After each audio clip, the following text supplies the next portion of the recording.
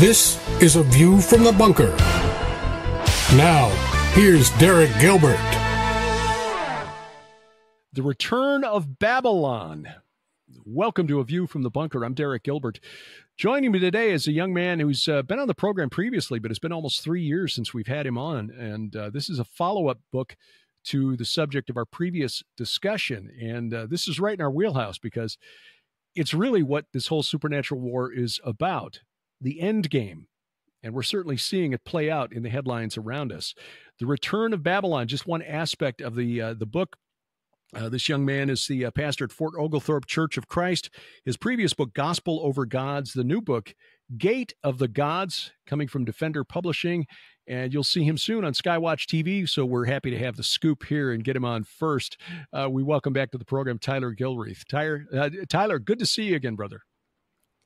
Derek, it is so good to see you. Uh, been looking forward to get back on your podcast and uh, appreciate the the gracious invitation. Um, you know how it is when you launch a new book, uh, you're just happy to get the word out, to spread uh, all the hard work you've done, and hopefully bless people's lives spiritually, and to talk about a very important subject that I think a lot of people are mindful of, especially today more than ever, and that is the uh, the Book of Revelation. So, looking yeah. forward to our discussion.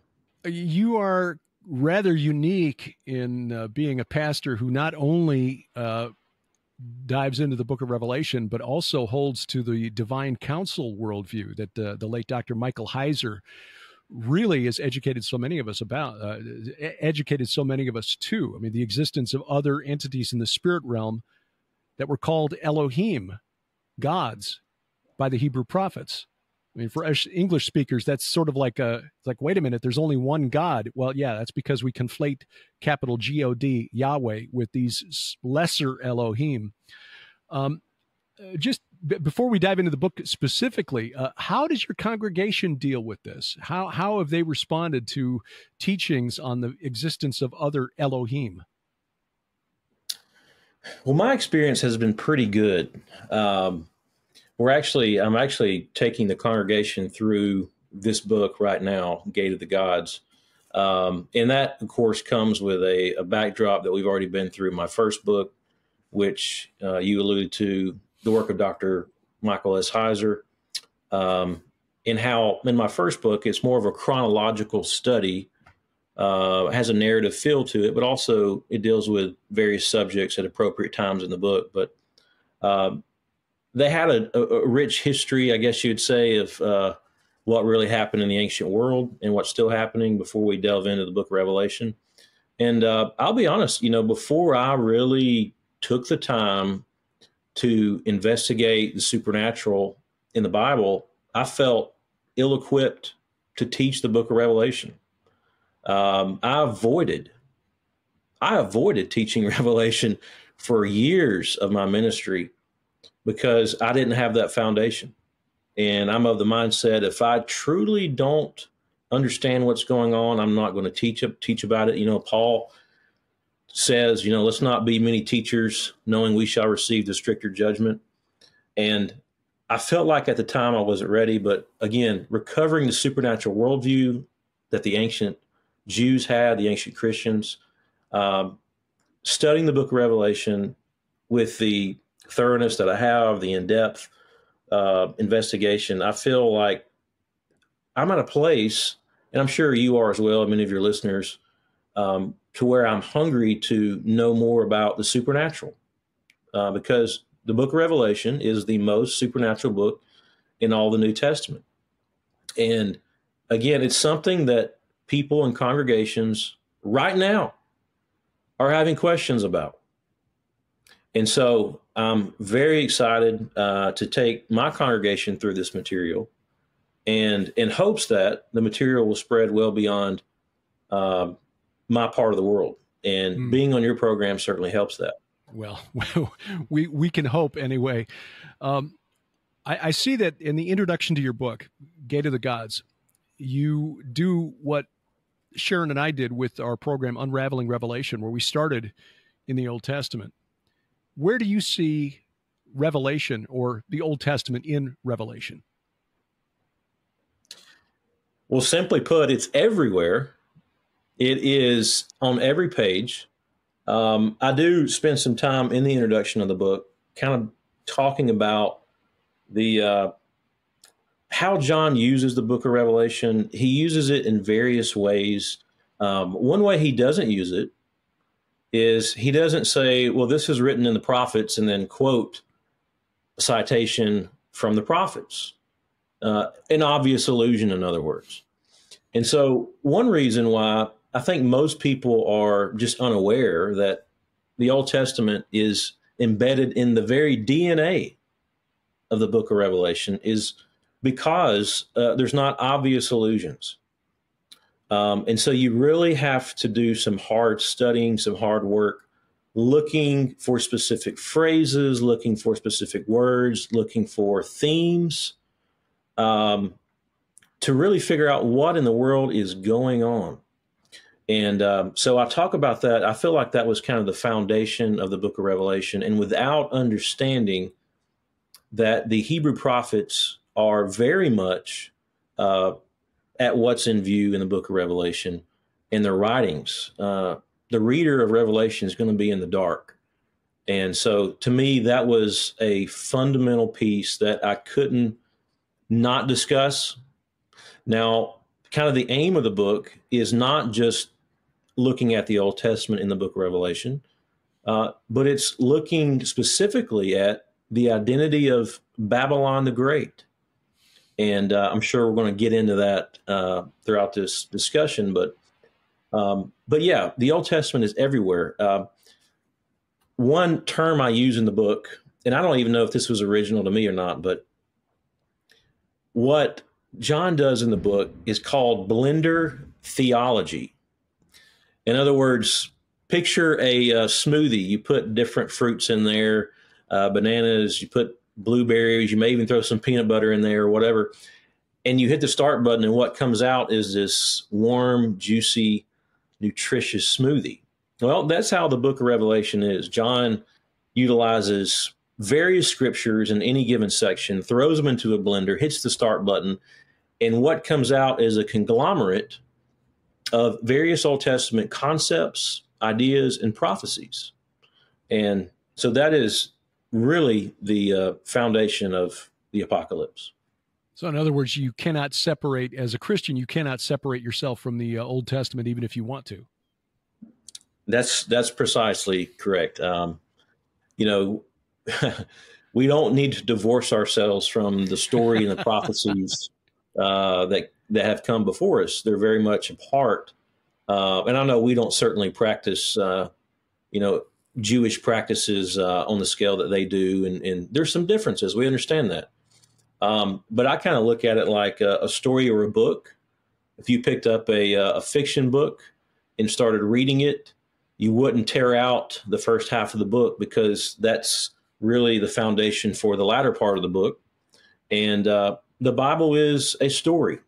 And so uh, we don't need to throw out, you know, much of the Bible at all because that is the uh, the prehistory of, of the world. That is the uh, the history of the Jewish people. That is eventually what will bring the Messiah.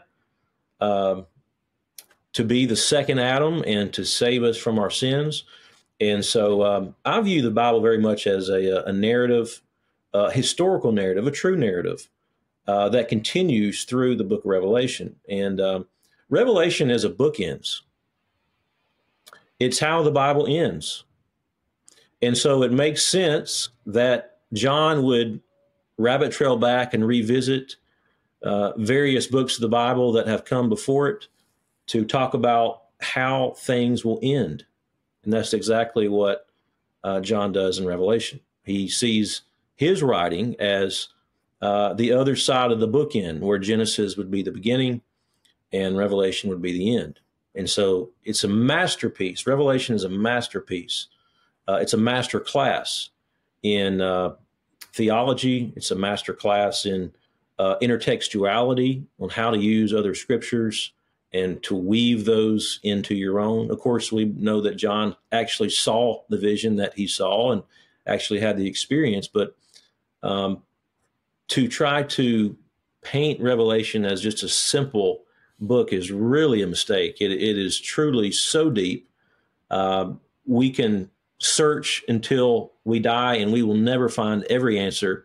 But I certainly did uh, my part, the best I could do in the book to bring out some key themes that I felt like were important in understanding, um, again, the apocalypse of Jesus Christ. Hmm.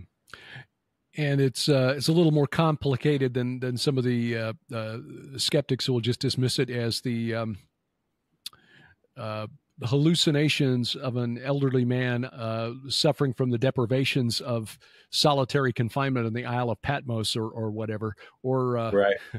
as one uh, researcher recently suggested, that it was uh, due to, uh, you know, ingesting DMT or something, uh, you know, magic mushrooms.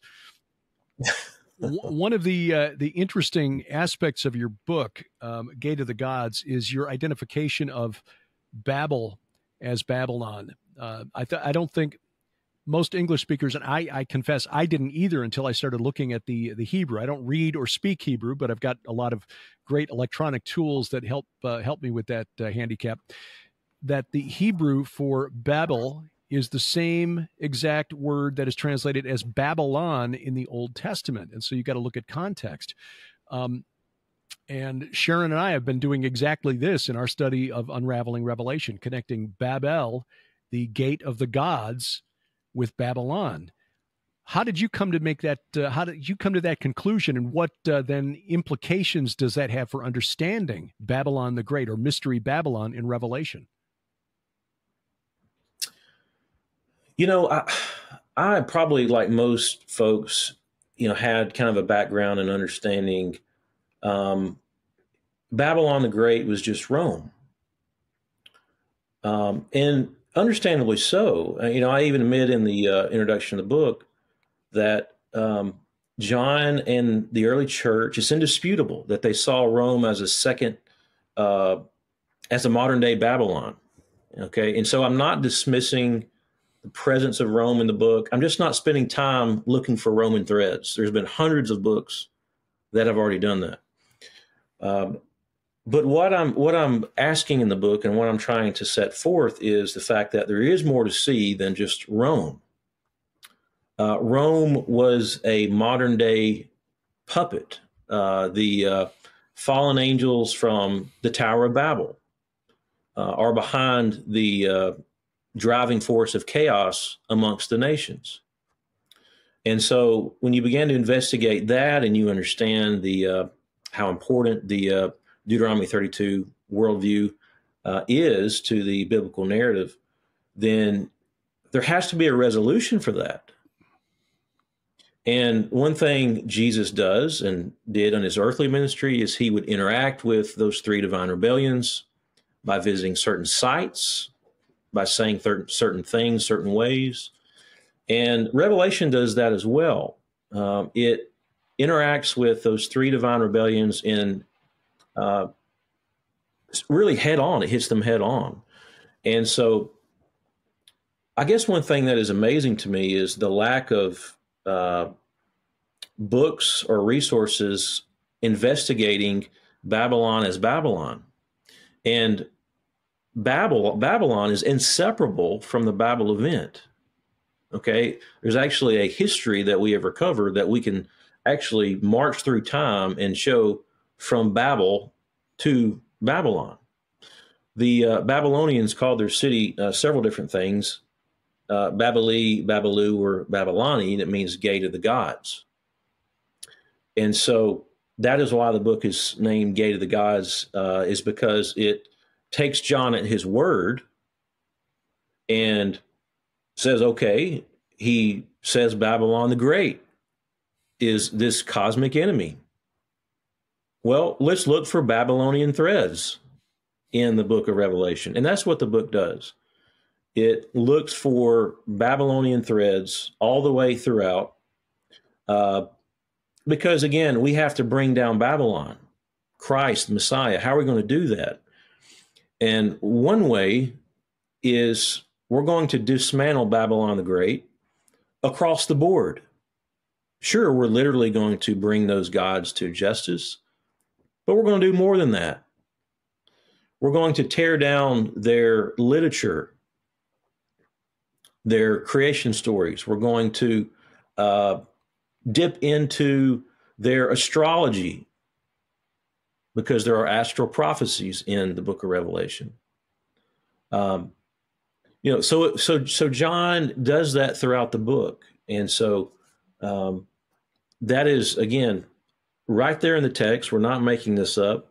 There are astral prophecies. There are mentions of beasts.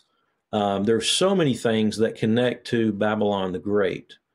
So, um, to answer your question, uh, we have to resolve the Babel event and John does so in the book of Revelation by dipping into Babylonian uh, literature throughout the book.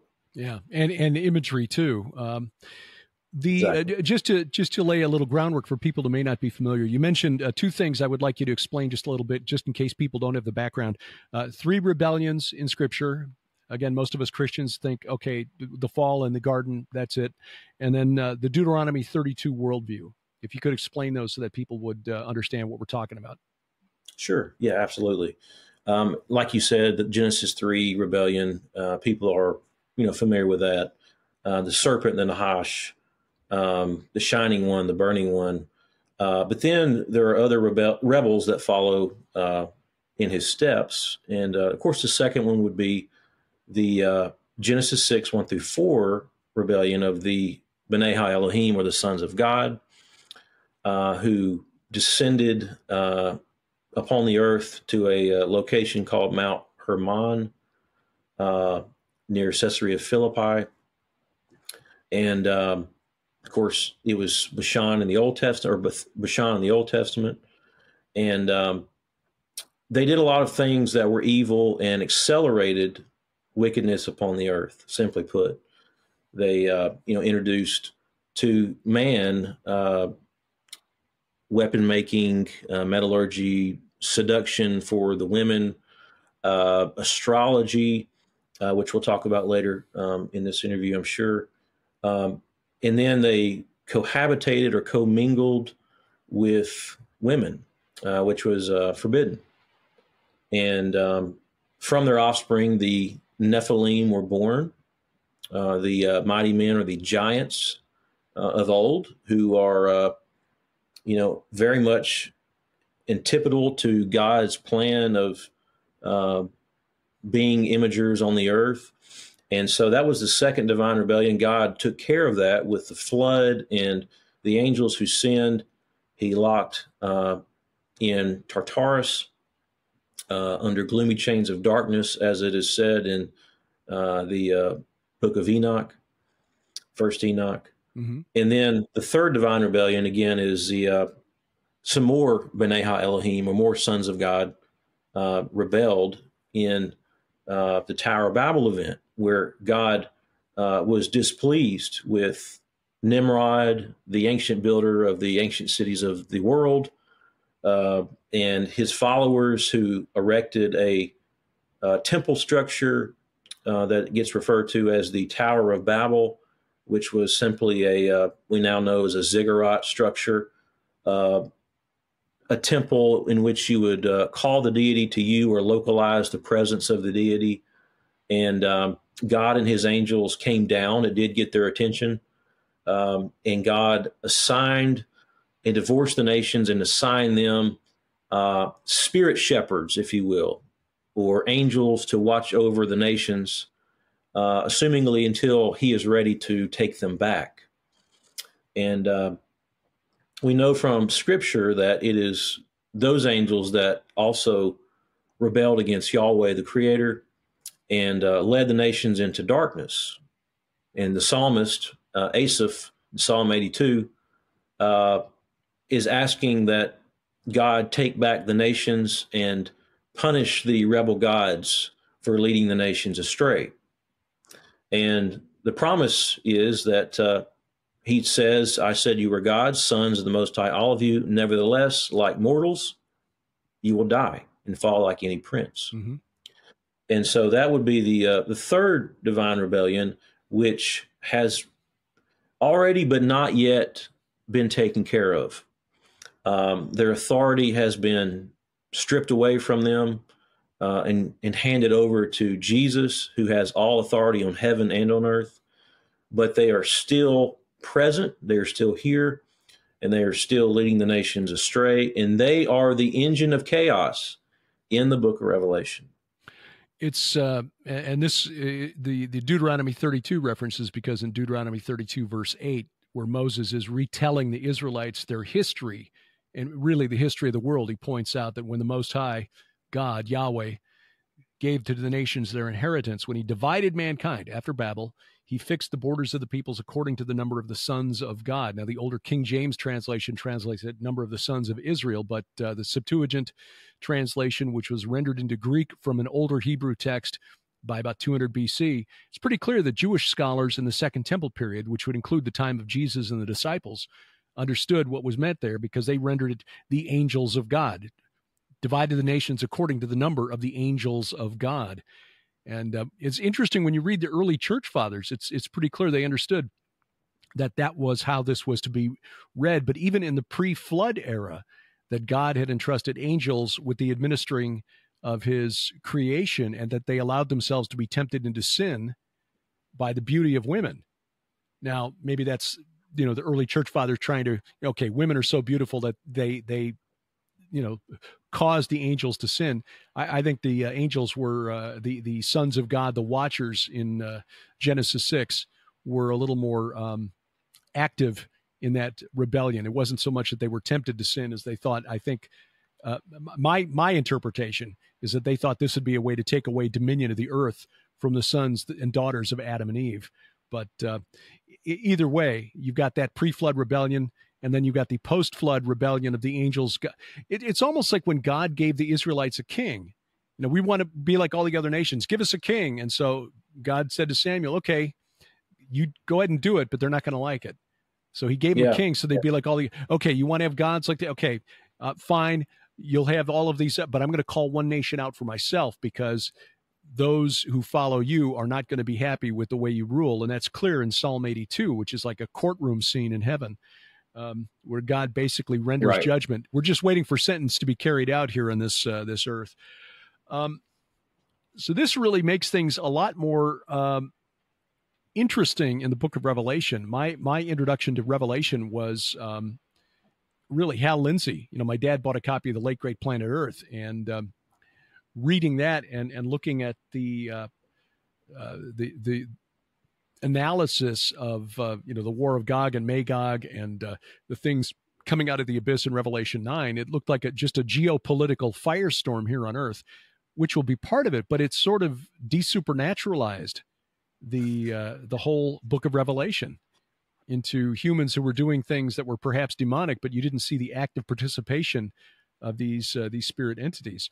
Um, and, and we'll come back to that because you've got a chapter on the release of the Apkallu, and I think I know where you're going with that because I think we're on the same page regarding that. But uh, Jesus in the Underworld, uh, chapter three of your book, Gate of the Gods. Uh, this is something alluded to by Peter in First Peter three, and Mike Heiser's done some teaching on this. Uh, what is your take on Jesus descended? Part of the Apostles' Creed, he descended into hell, and on the third day rose again. Um, what what did he do there? Who did he encounter? What it what was the purpose of that? Yeah, you're exactly right. Um, you know, Peter Peter does allude to that um, where he sees uh, Jesus as a, kind of a, uh, an Enoch figure um, that ascends down to the underworld uh, upon his death and uh, interacts with you know various beings, and uh, the beings that uh, Peter would allude to were, of course, uh, you know, the spirits in prison. Uh, a very specific phrase that uh, is found in the book of Enoch uh, and, and, not elsewhere. Oh. And so uh, that was certainly a message Jesus um, had to them. And the message that he preached was not a message of repent and be saved. it was, I won, you lost. Uh, you're still condemned and I'm about to leave. I'm about to get out of here. Uh, there's different types of preaching, um, and that's the message that undoubtedly Jesus had. Uh, but in the book, I particularly just deal with that in general. And, and you know, there's passages like Revelation 118 where the Bible says that uh, Jesus now holds the uh, keys of death and Hades. And so there's entities, you know, named entities in uh, the book of Revelation that Jesus sparred with uh, for authority of the underworld keys. And uh, that may seem like a shock, you know, to a lot of people that um, Jesus would actually interact with these beings. And, you know, some of these beings, like Hades, are, uh, you know, beings that are found in Greek mythology and, and elsewhere. And uh, what I've come to realize, and I'm sure you as, as well, Derek, is uh, these deities uh, get recognized by various names um, through different civilizations. And uh, for example, um, death is an Old Testament uh, entity and uh, ancient Near Eastern in- entity uh, where the Hebrews call Maveth. And uh, elsewhere, he's called Mot or Mot in the Canaanite texts. And so we see scriptures in the Old Testament where Maveth is personified as a being. Right. And we see in 1 Corinthians 15 where Paul uh, is beginning to talk about the resurrection, and he begins to ask, you know, questions. In 1 Corinthians 15, 54 to 55, he says, Then shall come to pass the saying that is written, Death is swallowed up in victory. O death, where is your victory? O death, where is your sting? Um, that is one of the most famous funeral verses of all time, but little do most people understand. Uh, he's actually talking about specific entities there because he's quoting from Hosea 13 14, mm-hmm. where Hosea 13 14 says, I shall ransom them from the power of Sheol, I shall redeem them from Maveth, or buy them back from Maveth. O Maveth, where is your Deber? Deber was a uh, a demon yep. who was seen as uh, an escort of uh, Maveth. And then, and then the passage continues, O Sheol, where is your Keteb? Another demonic entity. And so, you, you know, the English very much masks these entities in a lot of a lot of passages and a lot of verses. And so when we get to the Revelation passage where, you know, Jesus is winning or stripping the keys away from death and Hades, uh, I see that as a literal victory over literal entities. And so uh, I talk about that in, uh, like like you mentioned in uh, chapter three of my book. Um, of course, there's some other passages that also mention death and Hades. Revelation six eight, where it says, "I looked and behold a pale green horse, and the one seated on it was named Death and Hades." Uh, Revelation 20, 13, and 14 and the sea gave up the dead who were in it. Death and Hades gave up the dead who were in them. Mm-hmm. And so, again, John saw real defeats over real real enemies. And so I, I thought it was important to uh, point that out in the book of Revelation that the the entities that are named uh, are real and not figurative.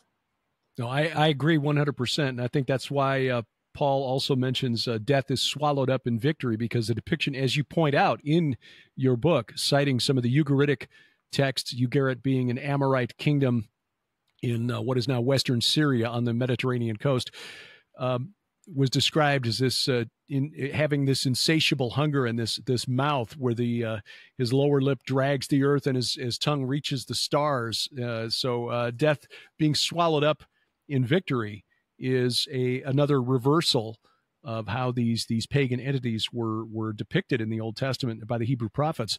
Um, I think it's interesting too. You see the parallels, the references to death, Maveth, Sheol, uh, which uh, I would uh, equate with Thanatos and with Hades in the Greek. Thanatos being the name of the rider on the pale horse, and then Abaddon I think, is a cognate to Tartarus. And I'm not finding any scholarly confirmation of that, so I may be out on a limb there sawing it off behind me. But uh, you see references to Sheol and Abaddon a couple of places in the Old Testament that would seem to parallel Hades and Tartarus in, in the Greek, but uh, I, I, don't know that there is a uh, an actual Old Testament cognate to the bottomless pit. I've argued that there is, but uh, again, like I said, I'm alone out there, so either the Lord's shown me something new, or I'm just way out in left field all by myself. Um, speaking of the bottomless pit, I, I, want to dive into that, and then we're going to come back to uh, Babel and the whole, you know, gate of the gods and how this relates to the end times.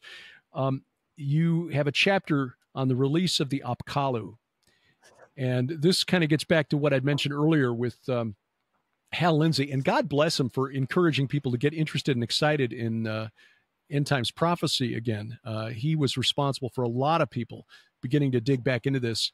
Um, in fact, it was Hal Lindsey who led uh, Chuck Missler to the Lord, got Chuck Missler involved in teaching Bible, uh, which has been a blessing to many of us. Um, the Apkallu, who were they and how do they figure into the book of Revelation? Well, again, we're looking to identify Babylon the Great, and uh, essentially, I argue in the book that uh, the Apkallu are the uh, watchers. Okay. Uh, of course, we expect Babylonians to call them in Babylonian names, uh, as we, you know, obviously do in our own language with our own uh, understandings of things. And uh, in fact, we do see the word watchers one time in the Old Testament or one time in the Bible. it's in the book of Daniel and we know Daniel was, uh, of course, uh, carried away into uh, Babylonian captivity. And so we do see, you know, that term, that's a Babylonian term uh, that they would have applied to these entities called the Apkallu, which were uh, essential, essentially uh, culture heroes before the flood, if you will. Um, oftentimes there were seven in number uh, in the uh, the Babylonian stories, uh, but they were entities uh, that were not from this world. They they were entities that uh, were foreign to humanity until that point, um, but they were also punished uh, later punished and sent back to the Apsu uh, from whence they came, or the uh, the underwater uh, domain of uh, the abyss, if you will. Mm-hmm. And so um, that's where we get the word. A, exactly, that's where we get the word. There, there is a strong correlation, and uh, undoubtedly, the uh, Kalu are the fallen angels, are the watchers, and um, that's what I see in the Book of Revelation. I see. Um, these entities uh, that get called uh, demonic locusts um, who come up out of the abyss and uh, you know cause chaos upon the earth and uh, some says well doesn't scripture say they're locked away until until judgment uh, that's often a, a, pushback that we may get um, but i would argue that uh, there's no contradiction there at all um, eschatology, the end of times, is the uh, uh, initiation of judgment. Uh, judgment is more than just, all right, you go to the left, you go to the right. Um, you depart into everlasting fire, you depart into, uh, you know, eternal bliss. Uh, judgment is a sequence of events uh, that will take place upon the earth. And so they are reserved under gloomy chains of darkness until um, those sequence of events uh, begin. And Revelation sees their release from the abyss. And uh, I do a lot of investigation into uh, the connection between First Enoch and Babylon. There's been, as you know, Derek, for for many years, there's debate as to who wrote First Enoch. Um, and there's early church fathers who said that, uh, well, Enoch wrote first Enoch, the uh, biblical character Enoch, and it survived the flood on the ark. Uh, there are many who don't hold that view that uh, Enoch wrote the book of First Enoch, that uh, it was a Second Temple um, production, mm-hmm. uh, maybe written by various authors. One thing I see, I don't have all the answers, I know that, but one thing I see is there are Babylonian uh, pattern, there's Babylonian patterning that is going on in the book of Enoch. And so it could be the case, Derek, that who wrote the book of Enoch was uh, someone that was shooting at uh, Babylonian literature and that was conflating the uh, Babylonian Apkallu and the uh, you know the other gods of Babylon uh, and reframing that uh, from a to, to a Jewish perspective. Okay, and we're not saying that they were being creative and making stuff up. We're simply saying they were setting the story straight uh, because we believe that uh, Genesis 6, 1 through 4 actually happened. Uh, so do the Babylonians. They had a different viewpoint of it. They were venerating uh, these gods. Mm-hmm. But the Jewish understanding is that they were evil. They are not to be venerated, they are not to be honored. And so it could be the case, and I again pull out some data from Enoch to show that there is some mirroring going on, even with uh, not just uh, the entities, but also in uh, the structure of First Enoch, the way in which it's written, uh, the way the uh, chapters are laid out on page 131 in my book. I talk about a, uh, a story or a document called the Marduk Ea. Um, and there is literary patterning going on between uh, that document in First Enoch six through eleven, and I won't go into detail here, but there seems to be, uh, you know, a design mm-hmm. uh, to mirror that particular uh, document. But that that is really really interesting, and I see that you cite the work of a researcher named Henry uh, or Henri Drawnel, who is uh, a respected scholar of Enochic literature. This is this is really interesting, and this would uh, uh, be consistent with the conclusions of the Estonian scholar Amar Annus, who argued, um, I think back around 2010 in his paper on the origin of the Watchers, connecting the Apkallu to the Watchers of Enochic literature and describing the uh, the Book of Enoch and other Second Temple literature as polemic against these culture heroes of uh, Sumer, Babylon, Akkad, um, saying, yeah, we, we know who these characters are, but they're not good. They're evil. Yeah. And, he, and even among the Sumerians, the Babylonians, the Akkadians, they understood that these characters could be sometimes evil and dangerous as um, sorcerers and, and, that sort of thing. Uh, what is interesting in the Marduk Ea literary pattern, and I'm, I'm really looking forward to digging into this. Um, Marduk being the king of the pantheon who supplanted Enlil at the top of the uh, the Mesopotamian pantheon around the time of Saul, David, and Solomon, 11th century, 10th century BC. Uh, Marduk was elevated to the top of the pantheon as Babylon emerged, uh, reemerged as a power in Mesopotamia. But Ea was the Akkadian name of uh, Enki, who was the god who ruled the city of Eridu over the Abzu or the Apsu, from which the Apkallu were sent forth uh, the Apsu, the Abzu, the underwater um, abyss, the freshwater source of the Tigris and the Euphrates, the Mesopotamians believed. Uh, and in fact, the word uh, Apkallu in Akkadian means big water man. so uh, they came from the abyss.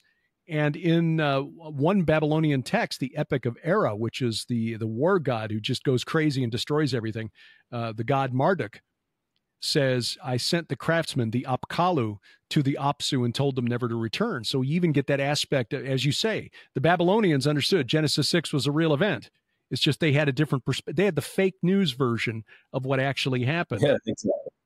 And so, uh, uh, yeah, it is interesting seeing that the uh, the literary pattern of this Marduk Ea text paralleled in First Enoch which again is a polemic against the Mesopotamian conception or Babylonian conception of these um, almost like Prometheus type figures. You know, from Greek mythology, the the uh, Titan who stole fire from Olympus and gave it to humanity and was punished by Zeus for taking the sacred fire. it's a sort of it's the same sort of thing. They they brought as the Watchers did in the book of First Enoch this forbidden knowledge. It wasn't just that they created the monstrous giants; they taught us sorcery and things we weren't supposed to know.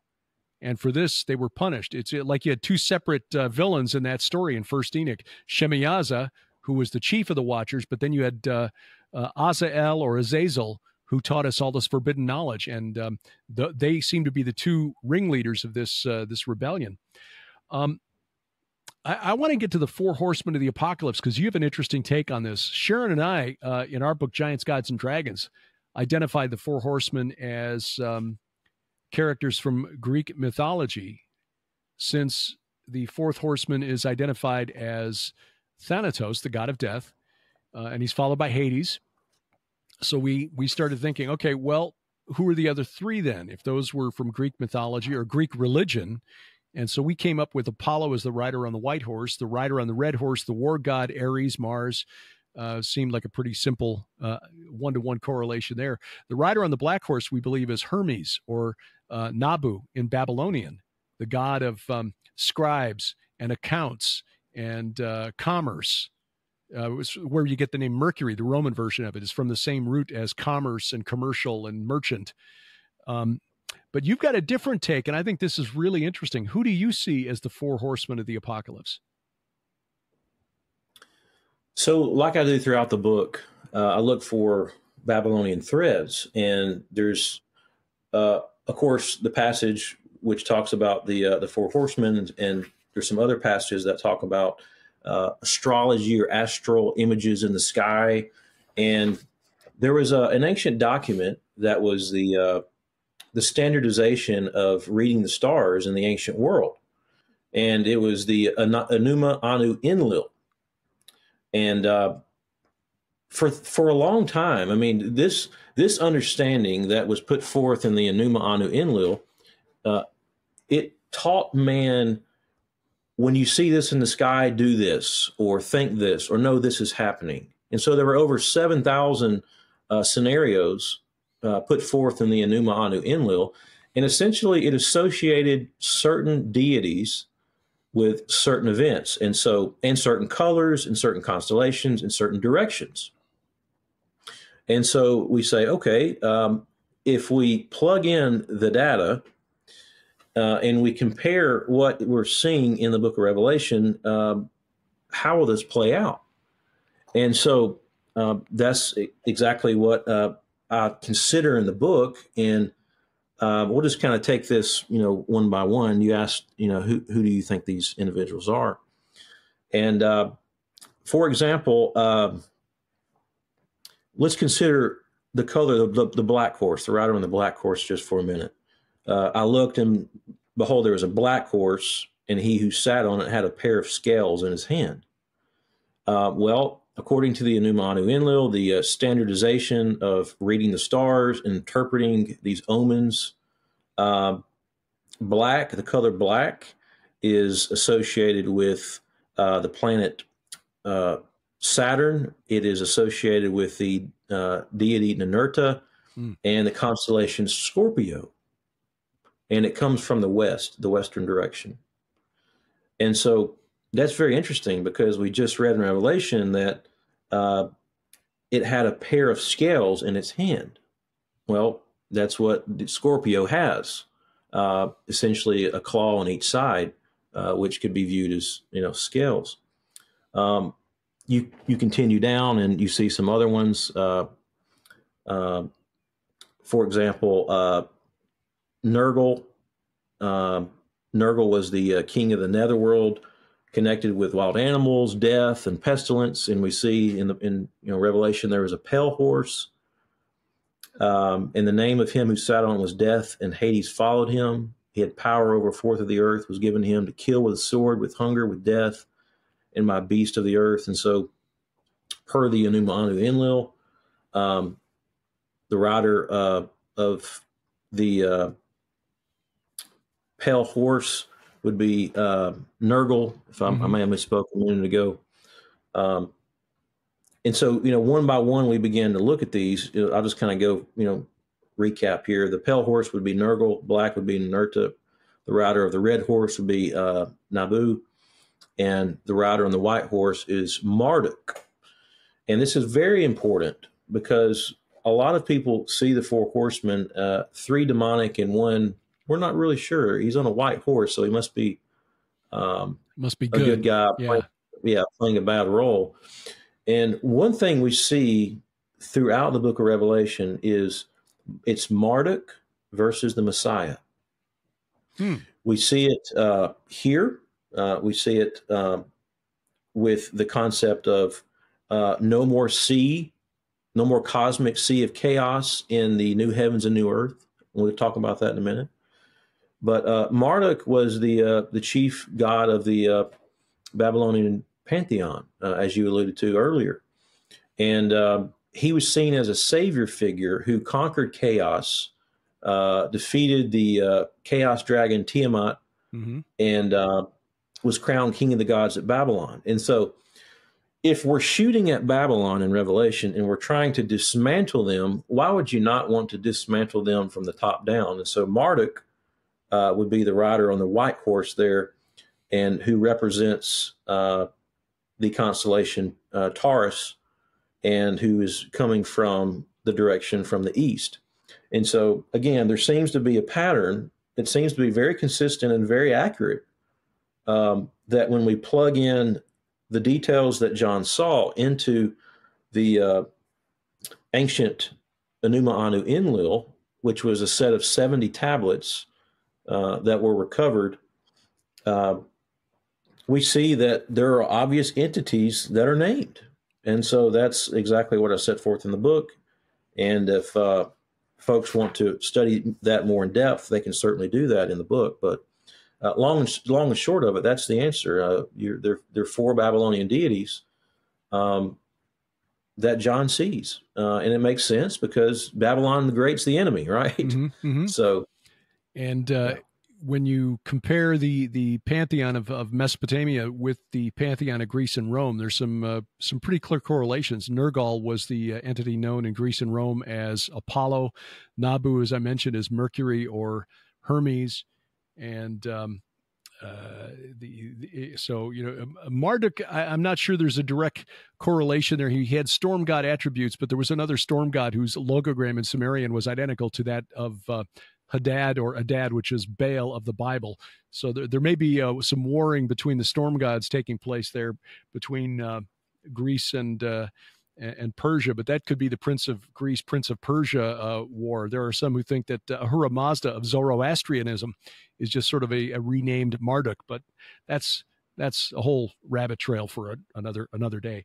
Um, the, the, bottom line here then is is what as we see all of this this horrific uh, imagery that is prophesied by John that uh, you know the, the, massive earthquakes, the this uh, that that uh, will will destroy the a good part of the earth. Uh, you know, a third of the sea uh, t- turned to blood in the rivers, and it just you know uh, massive stones falling from the heavens and so on.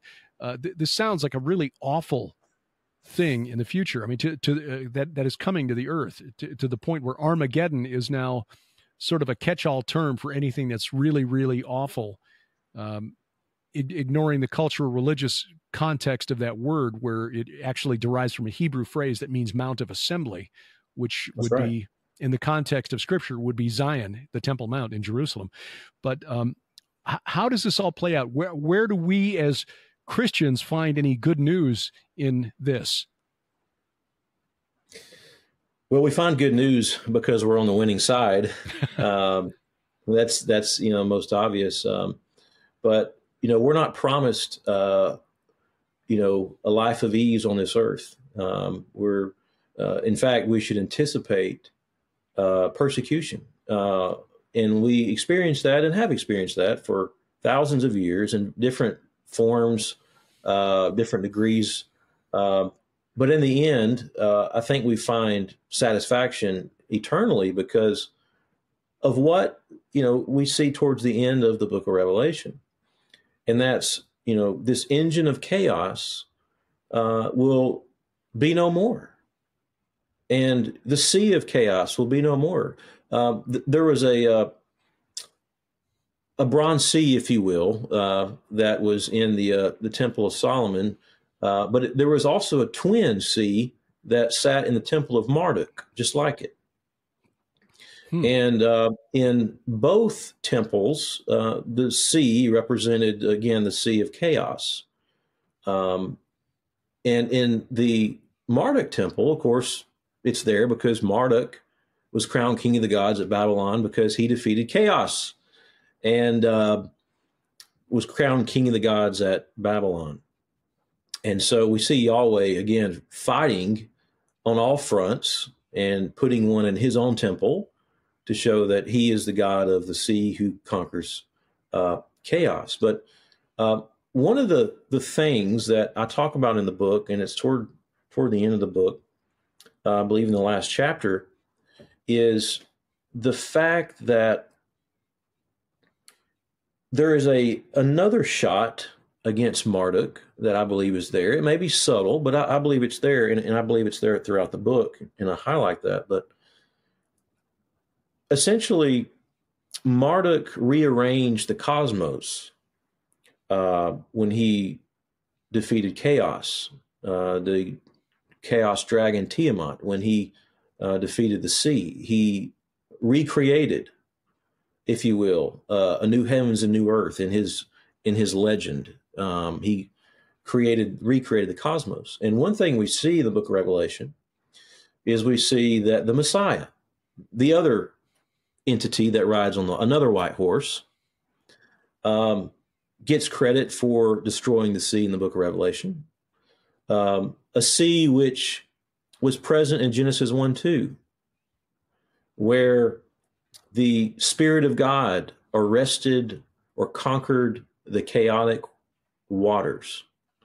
Uh, there in Genesis 1 2, uh, the word is tehom mm-hmm. in the Hebrew, and uh, many believe that uh, connects to uh, Tiamat.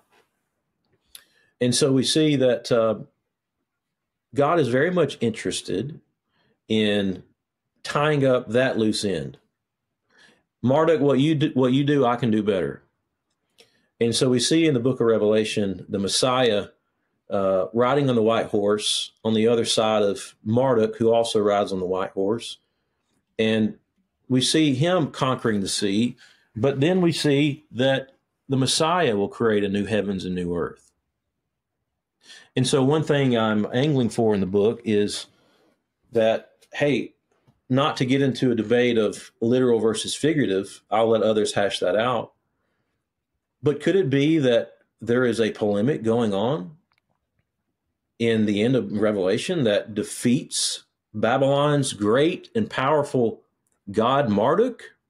I believe so. I believe that the uh, new heavens and new earth, at least in part, is a, uh, a poke in the eye to uh, King of the Gods at Babylon uh, who was crowned because of his supposed victory. And uh, you asked, how does it end? Well, it ends with uh, the Messiah uh, reigning on top, uh, being the true king of the gods, and delving out punishment where it is due.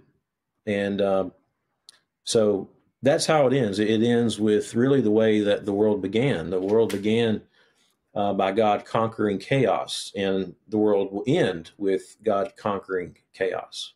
And um, we are the redeemed of the Messiah, the uh, the army of the Messiah as His church, and so uh, our uh, you know Messiah will lead us into victory, uh, and that's a comforting sight and a comforting thought. Uh, whether we are alive to see that or not, we will be alive with the Messiah uh, for all of eternity. Amen. And so, uh, to me, that is the most comforting uh, point of the book. Amen. Yes, these other Elohim are real. Many of them have aligned themselves against us and God and His creation, and uh, we, as part of His creation, are on uh, the enemy's side as far as these fallen or lesser Elohim are concerned. But uh, the Bible is all about how God is redeeming us and rescuing us from from these these rebels, and I, I like this interpretation Uh, this is a polemic against Marduk. Uh, we're on the same page regarding the uh, the role of chaos in all of this. Uh, Genesis one verse two, with uh, Tehom and uh, Tiamat being essentially cognates of one another, and uh, the sea is no more. I saw a new heaven and new earth, and the sea was no more. Why why mention that separately from the new earth? You'd think mm-hmm. that the sea would just be part of the you know the whole package. No, right. the sea representing primordial chaos. Because the Hebrew word for sea in the Old Testament, yam, is the Canaanite name for Leviathan. Right. So we and in Psalm 74, you divided Yam by your might.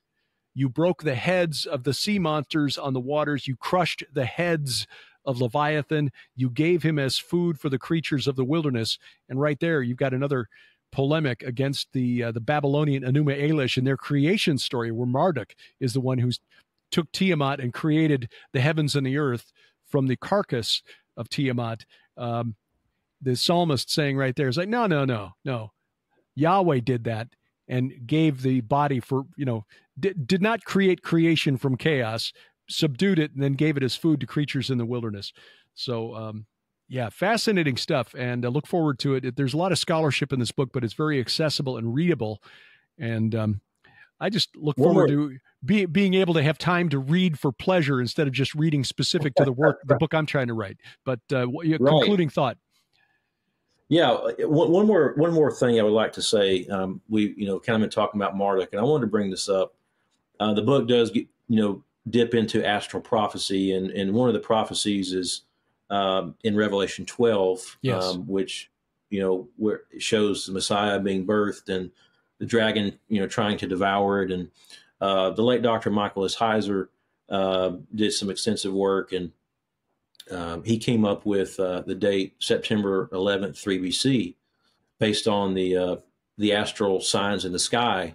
Um, and so, one thing I talked about in the book is again why the book of Tishri, or why why not the book, why the month of Tishri, excuse me.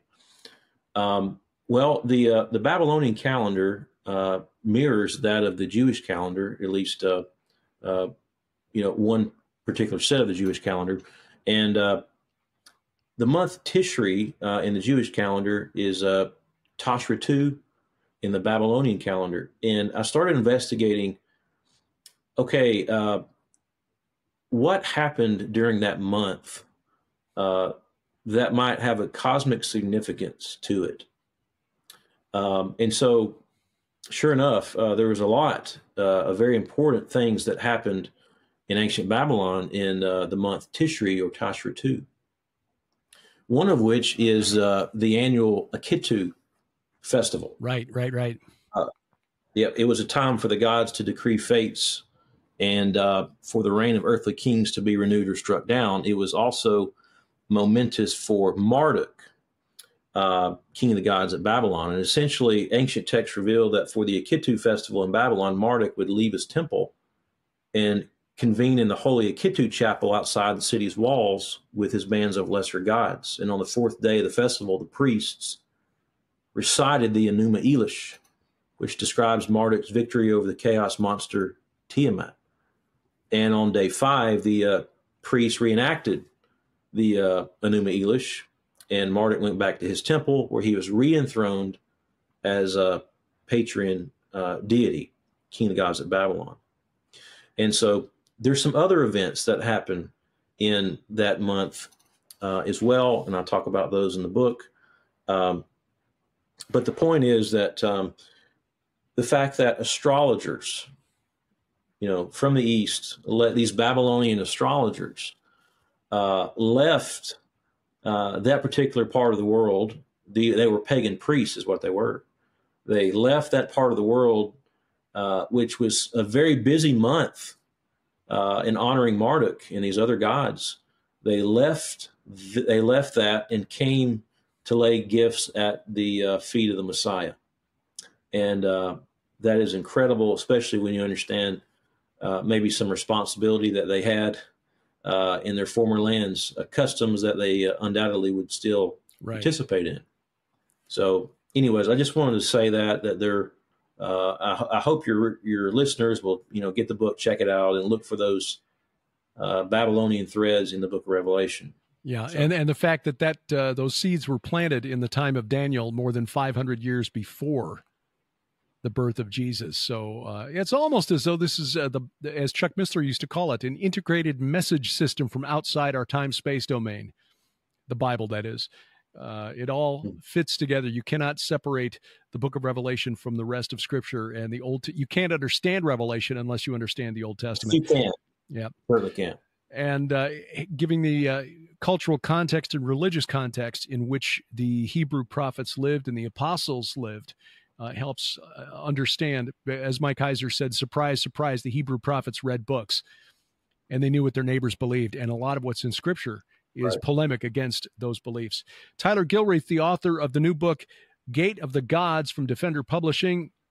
Uh, this is going up on the 14th of April, and as you're watching this, it'll be just a few weeks ahead of the broadcasts on Skywatch TV with uh, Tyler and uh, Lieutenant Colonel Robert Maginnis. That'll be a fascinating panel. I'm looking forward to sitting on that, um, which of course will already have happened by the time you are watching this, since we're time shifting this into the future. But uh, I would encourage you. You can get the book at uh, Amazon, of course, or any bookstore. But I would encourage you to watch and wait for the Skywatch TV special because I know that there will be a special package offer for Tyler's book where you can get it, and uh, probably Colonel Maginnis's book as well. Um, and uh, that would be at skywatchtvstore.com. But uh, do watch for those programs. And uh, Tyler, uh, look forward to seeing you, which again, as people are watching this, will already have happened. So it was nice to have seen you, even though it hasn't happened yet.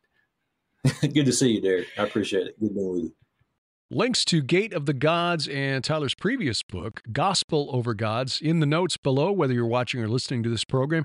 Uh, by the way, he was just in the Ozarks here Friday he was here for uh, shooting four programs with Lieutenant Colonel Robert Maginnis for Skywatch TV, the two of their books, um, uh, Bob Maginnis's new book on the UFO phenomenon, which is really going to be interesting coming from his perspective. He's got access to sources inside the Pentagon that we don't have. Uh, watch for those upcoming on Skywatch TV. And uh, also, as I said, you can, uh, if you want to wait, and to take advantage of the special offer coming when those programs air on Skywatch TV, you will get a good deal on both of those books. Highly recommended. And I will have uh, Colonel Maginnis back on the program to talk about his book uh, in the uh, near future. Coming up, uh, you know, normally I really like Tucker Carlson, but this week he really stepped in it as uh, well. I'll explain why straight ahead. And this could be your last chance to sign up for our solidarity mission to Israel as we wait for the other shoe to drop vis a vis Iran. More straight ahead as a view from the bunker continues.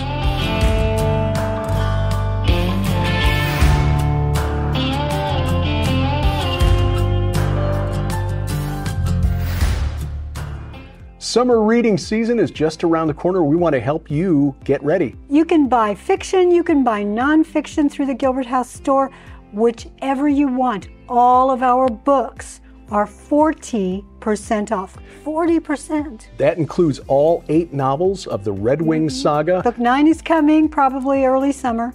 My two novels, and then, of course, all of our nonfiction stuff, mm-hmm. including our most recent books Giants, Gods, and Dragons, The Second Coming of Saturn, and Veneration, a deep dive into the cult of the Nephilim. April and May, you get 62 days. Yeah, no, absolutely. 61. That's, April only has 30. Regardless, through the end of May, 40% off on all of our books at the Gilbert House store. Available only online. Go to gilberthouse.org slash store. You'll find all the prices slashed on our books, 40% off, gilberthouse.org slash store. And thank you for your prayers and support.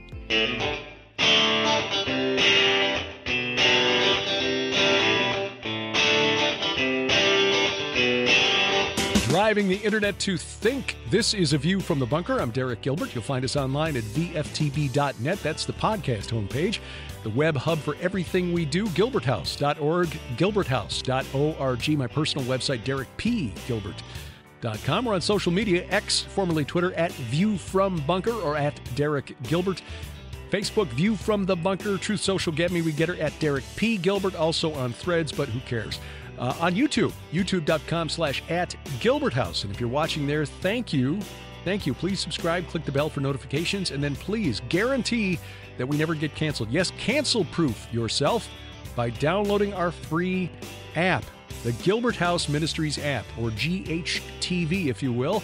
You'll find it uh, for iOS, Android, Amazon, Kindle Fire phones and tablets. They've also got uh, Roku, Apple TV versions, and coming very, very soon, we've submitted it now for approval the Fire TV version. So all of the video content will be uh, easily available on your big screen. The advantage to the mobile app is that it brings it into your smartphone or tablet, but also features a couple of extra um, functions that I think are really useful. One is a Bible, of course, multiple translations, and it's an audio Bible, so you can listen while you sleep, while you're driving, what have you. Uh, when you get bored of listening to us, just flip over, listen to the Bible, listen to some scripture.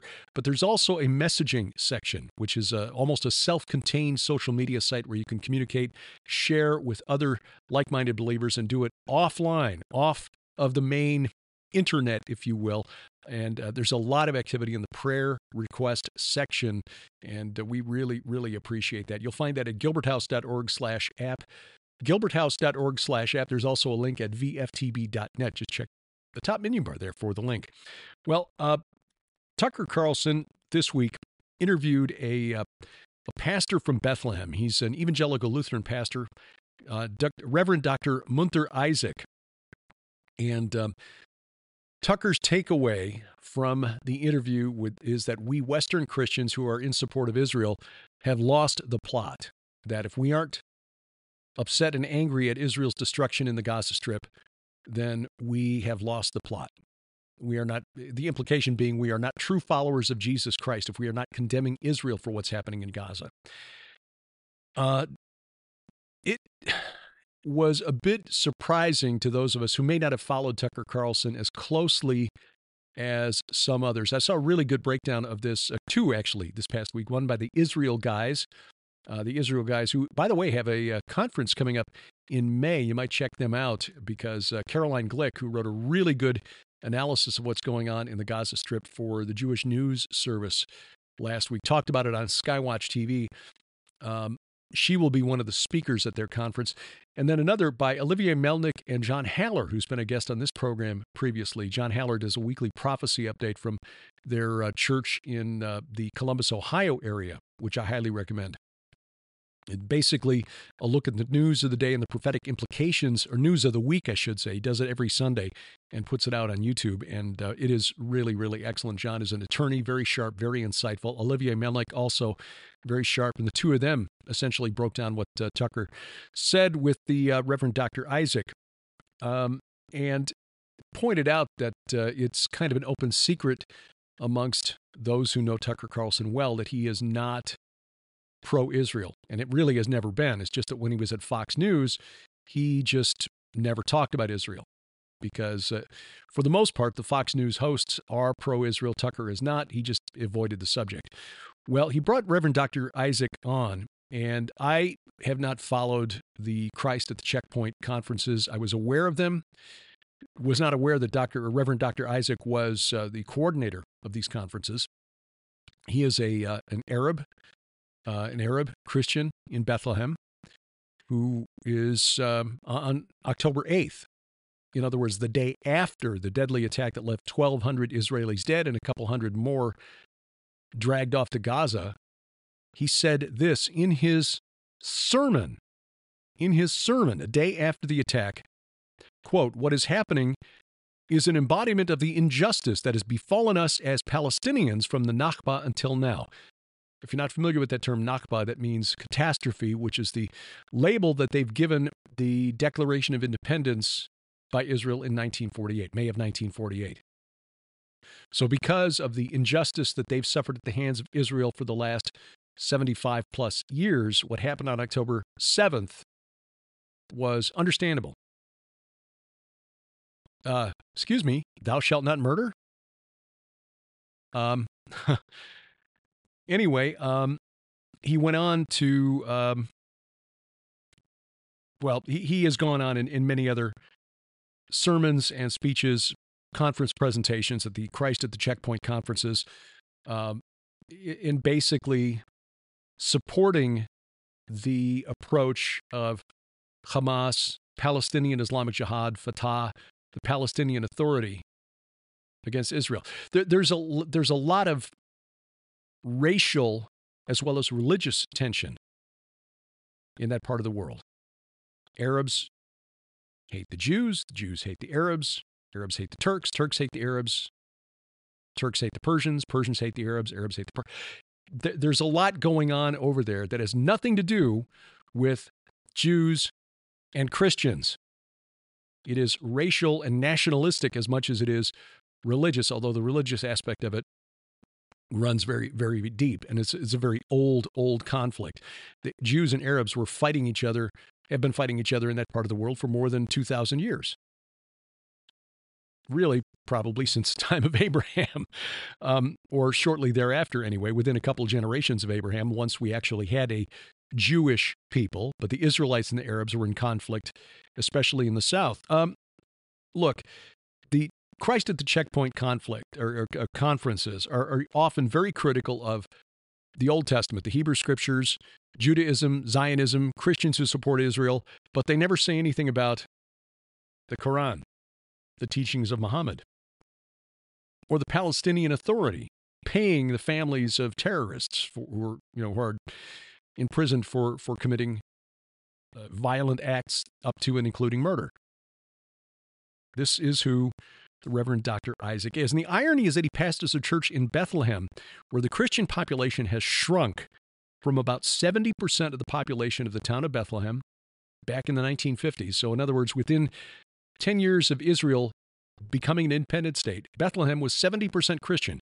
It is now less than 12% Christian today.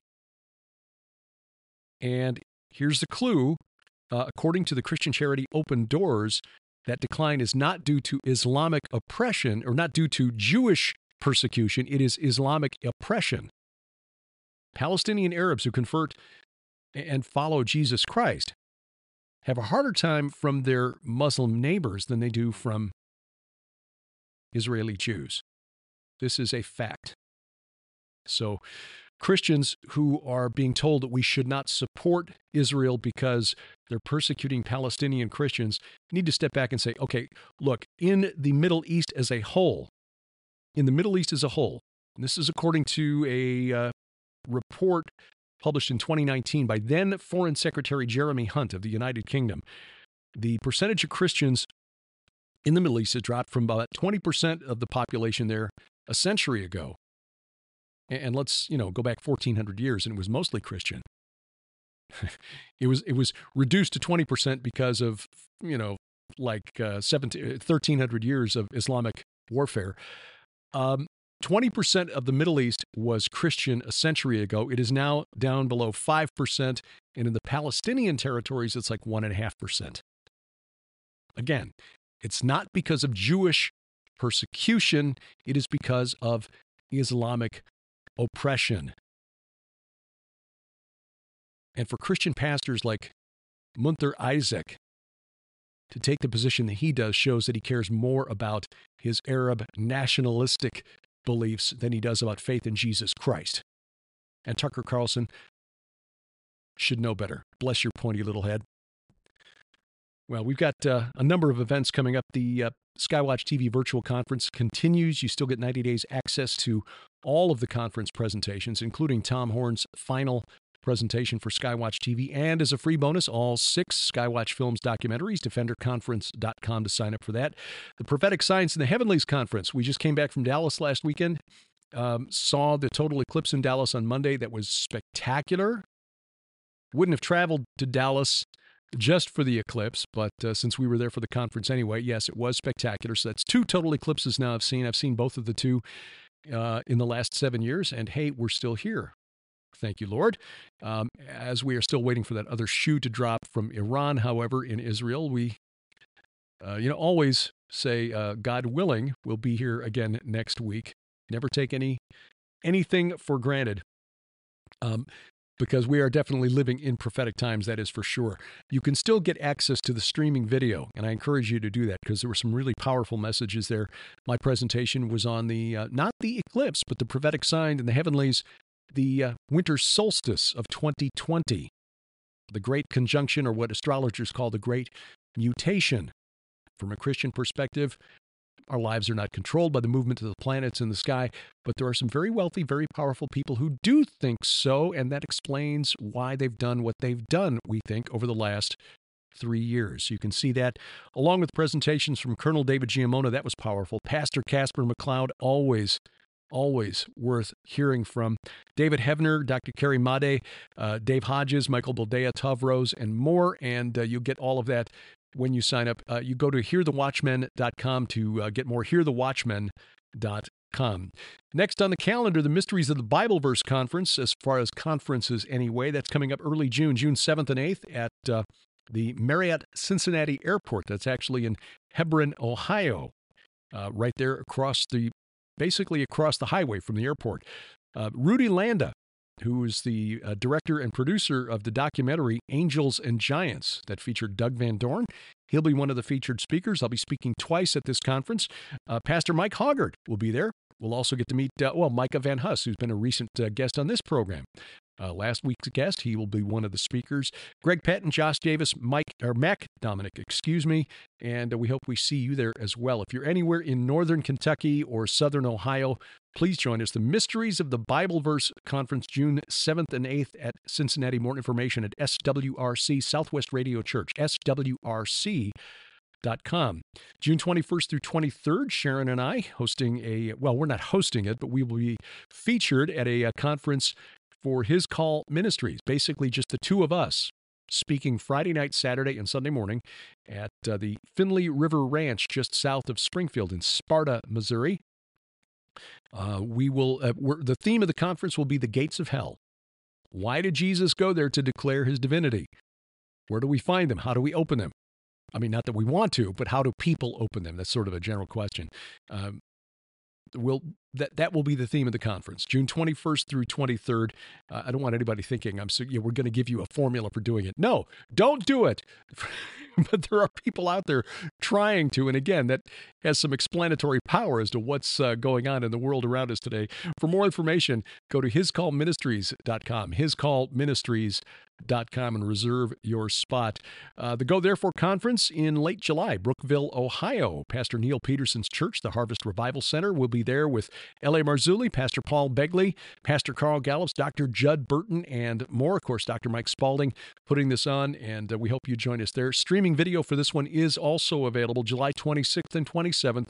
Go Therefore Conference com. And uh, in September, the Pitchfork and Hoe gathering, Valley City, North Dakota, the Eagles Club there. Wonderful facility, a great gathering. It's sort of like a uh, like a seminar, a weekend seminar, uh, different uh, workshops on best practices for small uh, small farmers, really. Um, and then I'll be speaking a couple of times on uh, just strange, probably talking about what we've got in our forthcoming book, The Gates of Hell.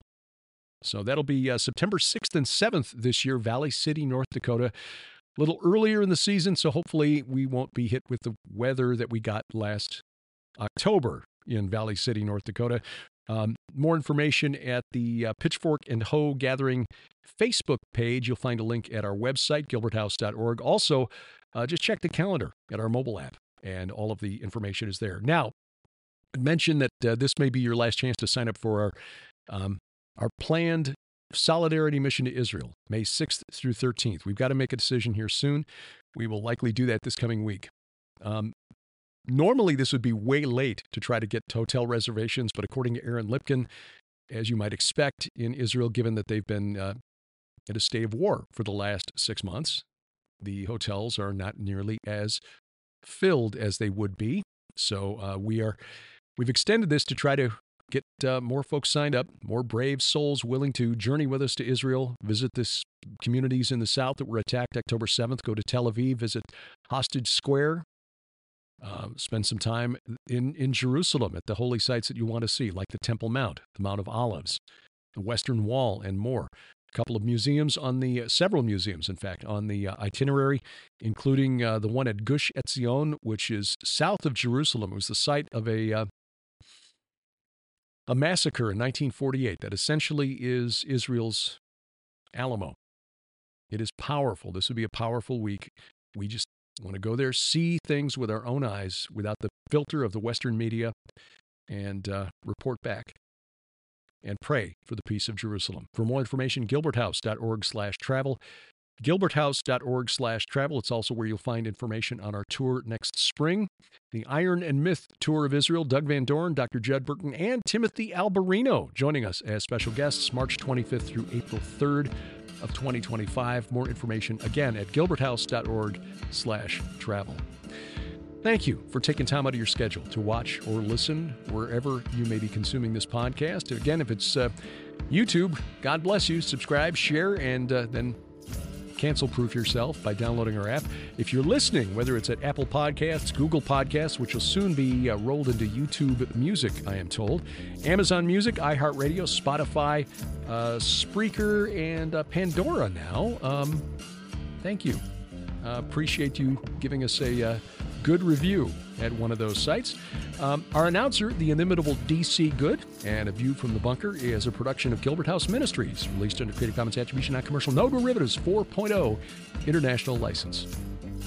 We wrestle not against flesh and blood. Good night, Oliver, wherever you are. I'm Derek Gilbert, and this is A View from the Bunker.